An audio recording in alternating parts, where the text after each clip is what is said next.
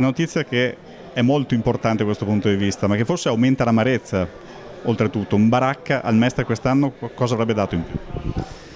Eh, sicuramente qualche punto in più, eh, quindi è una classifica diversa, però coi secco in mano sai che non ho mai pensato a queste cose e si pensa sempre alla realtà.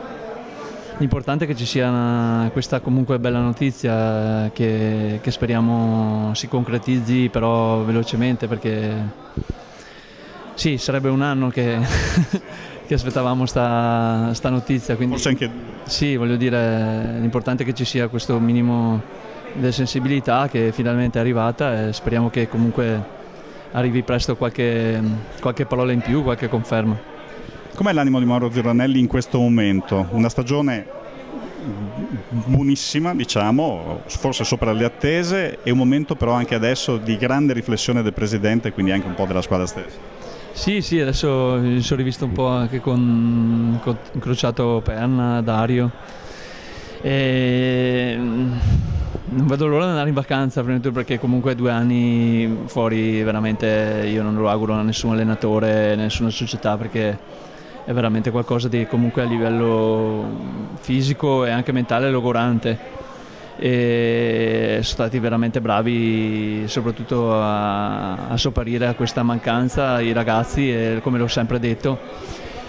E speriamo tutti che, che, ci sia una novità imminente come magari può essere quella di, di, questo, di, questa, di questo, fine pomeriggio. E come ti ho detto spero che, che ci siano degli altri passi. Mestre è riuscito a dare qualcosa al Mestre cioè a far capire a distanza di tanti chilometri, quindi anche con i... Sicuramente da un'altra parte non avremmo avuto il seguito che abbiamo avuto con i nostri tifosi senza fare Ruffiano, perché ci sono sempre stati, eh, sempre, sempre, sempre. Che poi siano stati un centinaio, un migliaio, eh, loro o 50. Grandissimo affiatamento, grandissimo attaccamento alla maglia e credo che anche la mestrinità da parte dei giocatori sia uscita poi in tutti i campi perché non, non, ricordo delle partite nostre dove siamo stati messi sotto a livello caratteriale o, o anche di, di, gioco, quindi da questo aspetto qua abbiamo avuto un grosso aiuto e soprattutto anche fuori casa perché sono sempre stati. Fuori da timidezze, sappiamo che anche già dall'anno scorso, dal grande campionato di Serie D, eh, molti si interessavano a Mauro Zironelli, cosa che sta avvenendo giustamente appunto anche adesso. Sì, sì, però come è stato scritto in diverse parti o eh, io sono, sono, sotto sono, sotto contratto, cioè è inutile che, che, vado in giro a parlare, o, cioè io sono del Mestre e finché il Presidente non, non scioglie la situazione io mi ritengo allenatore del Mestre tanto che vado in vacanza perché non ho nessun tipo di de desiderio di andare a ascoltare Tizio Caio Sempronio. Gliel'ho detto a qualche giornalista, purtroppo non hanno recepito e lo ribadisco, io sono sotto contratto col Mestre 2018-19. Poi tutto quello che verrà o che il Presidente deciderà lo condividerò perché so benissimo che è dura andare a giocare fuori casa. Non è che ci siamo divertiti a fare due anni fuori casa. Speriamo e chiudiamo che abbia seguito eh, la, la notizia di stasera e ce lo auguriamo tutti quanti.